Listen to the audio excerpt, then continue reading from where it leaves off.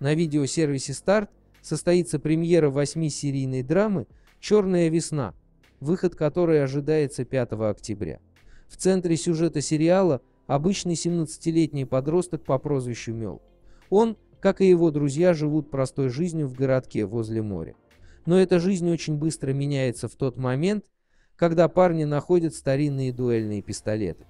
После этого Мел хочет заступиться и отстоять честь своей давней подруги Анжелы, в которую очень давно влюблен.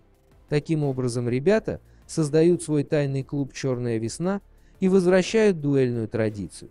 Вступающие в клуб обязаны жить по чести и справедливости, а споры в нем решаются на смертоносной дуэли.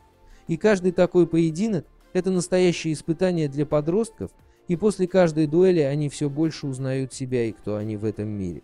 Главные роли в сериале исполнят Валентин Анциферов, Глеб Калюжный, Артем Кошман, Анастасия Красовская и другие. Премьера восьми-серийной драмы «Черная весна» состоится 5 октября на видеосервисе Старт. Приятного просмотра и не забудьте подписаться на наш канал.